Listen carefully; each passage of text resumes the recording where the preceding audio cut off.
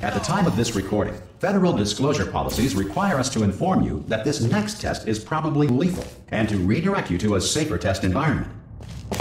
We will attempt to comply with these now non existent agencies by playing some more smooth jazz.